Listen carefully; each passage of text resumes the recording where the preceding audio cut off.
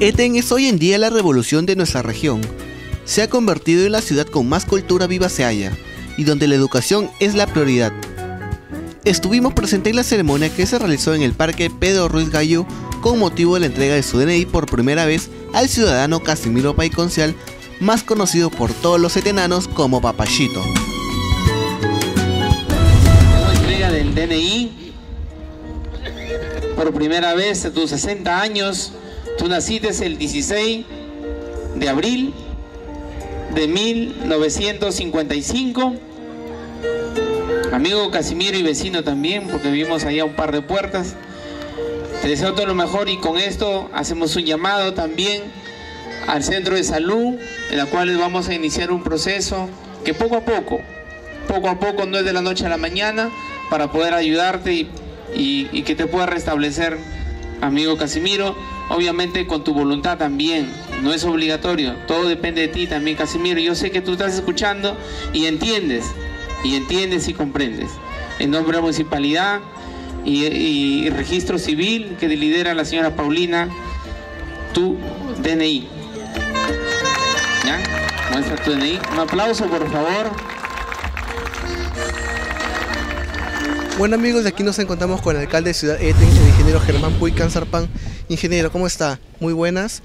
Hoy nos encontramos con una ceremonia súper especial, súper emotiva, porque se ha entregado a un personaje de Eten, digámoslo así, su DNI por primera vez, ¿verdad? Sí, eh, bueno, de todo, gracias por el espacio y recalcar bastante que no solamente hay que hacer labores en infraestructura, en trabajos físicos, sino también hay que hacer trabajos humanos.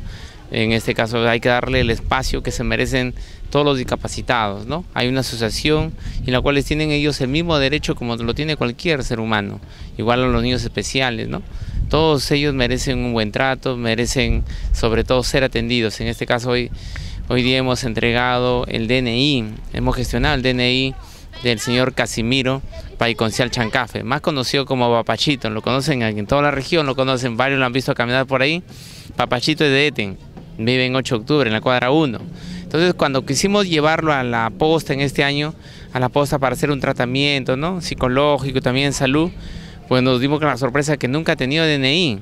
Es ahí donde hemos iniciado las gestiones no solamente con esta persona, sino con varias personas indigentes, también personas que padecen de, de una discapacidad, eh, en poder gestionarles. ¿no? Eh, Papachito ha cumplido 60 años en abril, el 16 de abril, y, y 60 años y nunca ha tenido DNI. Bueno amigos de Magazine, aquí nos encontramos con doña María, María Paulina Ucaña y Carrillo, jefa de registro civil, ¿verdad? Cuéntenos un poquito cómo ha sido el proceso para la obtención de DNI del señor Casimiro Paiconcial. Bueno, el proceso ha sido muy largo, pero gracias al apoyo de nuestro alcalde que nos está dando la oportunidad a los funcionarios para poder ejercer nuestras funciones. De él, eh, con la mano de él, hemos, hemos hecho todo un procedimiento ante las oficinas de registro civil, nos ha apoyado el centro de salud, nos ha apoyado la parroquia como es el Padre Luterio y y también lo hemos publicado. Ha sido todo un proceso largo, pero nuestra misión ha sido conseguirle el DNI no solamente al señor Casimiro Paiconcial Chancafe, sino a muchas personas que nunca han tenido un DNI. ¿Y qué queremos con ello? Insertarlos a los programas sociales, ¿no? Estamos tratando de in- insertar a lo que es inclusión social para que estos hombres, personas mayores puedan tener acceso a todo este tipo de beneficios que da el Estado. Asimismo, también nos comentó que la municipalidad viene haciendo campañas gratuitas para renovación, pérdidas y registro por primera vez del DNI para cualquier ciudadano. Asimismo, el ingeniero Germán Puy Canzarpan es un convencido de que la cultura y la educación es la identidad de todo pueblo que busca el progreso y nos comentó acerca del convenio que se firmó con la institución Pedro Abel Labarte Durán para beneficio del pueblo etenano y de dicho colegio.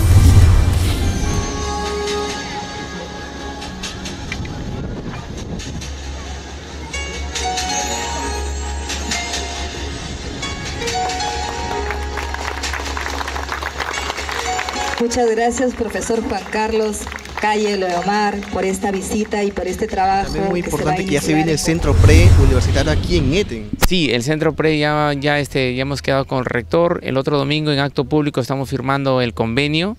Eh, hay que reclutar 40 alumnos, sí, sí, ya hemos logrado ya, hemos pasado, pero estamos ordenándonos un poco más para ver el tema de dónde va a funcionar la infraestructura, entonces puede que este año sea un parte del complemento que podamos realizar, pero ya definitivamente en enero, que es verano, salen bastantes alumnos, empezamos a llenar las aulas del instituto.